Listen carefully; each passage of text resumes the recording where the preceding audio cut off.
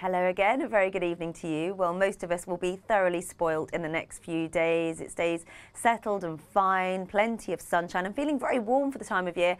Highs of 25 degrees possible in places tomorrow, making it the warmest day of the year so far. Taking a look across Europe and the orangey colours on the map depicting where we've got the best of the temperatures is actually warmer through parts of Britain and the near continent than it is across parts of Spain and Portugal in the coming few days, can you believe?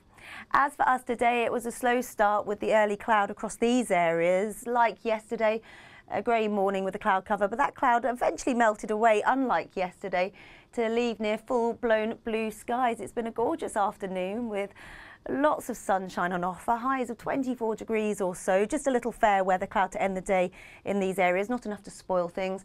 Elsewhere, lots of late and low sunshine before dusk. A lovely end to the day. Not too much change overnight, a little more cloud rolling into the far north and northeast, and this could be with these coastal spots tomorrow morning, but by and large, a little brighter than recent mornings across many central and eastern locations. There'll be sunnier skies from the word go, and there'll be some lovely sunshine well into the afternoon. You'll be unlucky to catch a shower. These quite intermittent and light across central southern Scotland, but where they crop up across the south and the southwest, some could be heavy enough to give rumbles of thunder. There'll be slow moving downpours possible.